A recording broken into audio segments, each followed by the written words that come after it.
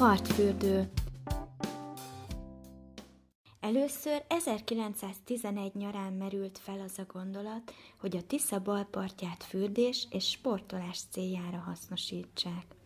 A ragyogó homokos terület, ahol a vízfelület sekélyebb és két-három fokkal melegebb, mint a szegedi partszakaszon, elhagyatottan, funkció nélkül állt. A maros torkolattól a közúti hídig elterülő bársonyos homokos part, a környező erdők, parkok kiránduló helyei tették változatosabbá a strandolást.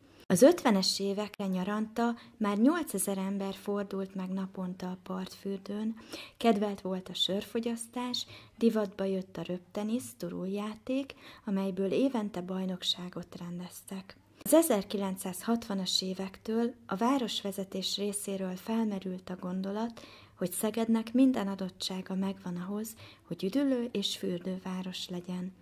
A Tisza és a Maros, a város déli fekvése, az évi 2000 óra napsütés, az új szegedi oldal természeti szépségei, a föld mélyén rejtőző termálvíz mind-mind lehetővé tették, hogy nem csak a helyi lakosok, hanem távolabb élők is fölüdülést, gyógyulást találjanak a városban. Napjainkban a partfürdő 13 hektáros területe május 1-től szeptember 30-ig fogadja a fürdőző vendégeket, de üdülőházai és a kemping is igen népszerűek a Szegedre látogató turisták körében. A partfürdő nyugodt pihenésre, napozásra, sportolásra, a parkosított árnyas fák alatt hüsölésre, kikapcsolódásra nyílik lehetőség, miközben a város egyedülálló panorámájában gyönyörködhet a fürdőző vendég.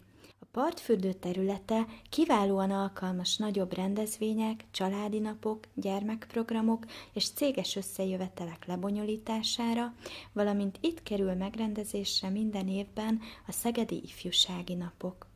A Napfény városának fesztiválja igazi nyüskő mediterrán nyárzáró, ahol a megjelenés szinte kötelező minden szegedinek, akinek valaha is köze volt Szegedhez, aki a zöld gondolat híve, és annak is, akit egyszerűen csak vonz a mediterrán életérzés, és persze a zene.